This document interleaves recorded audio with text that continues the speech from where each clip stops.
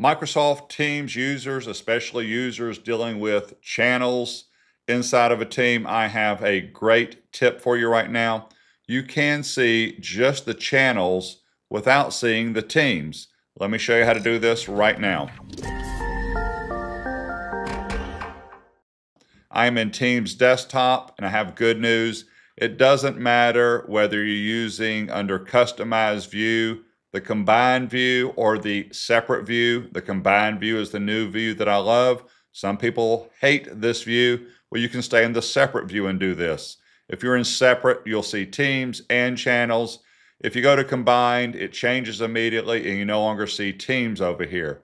Doesn't matter what view you're at. I'm going to scroll down here and if you notice, here's my teams and channels and here's my example. I have a department product team. That is the name of the team. It has four channels underneath it. So if I'm going to hide all the names of the teams and just show the channels, we have a lot of channels called general. So how's it going to handle that?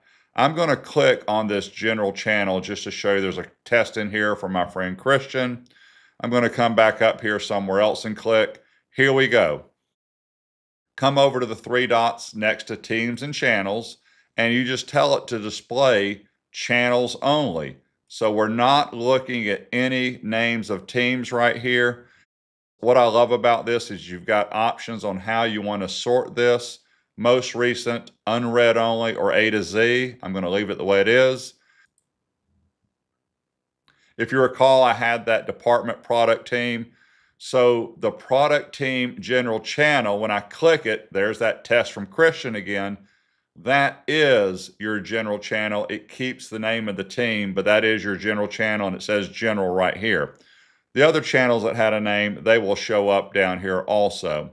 So it's just a great feature that I love is if you only want to see your channels and not your teams, you can do that. And then if you want to swap it back, same steps up here, come over to channels and click, and you say teams and channels. And once again, that works in the combined view and the separate view. Thank you for your time. My training is available online for Teams, Copilot, Excel, and OneNote. Thank you for your support of my channel.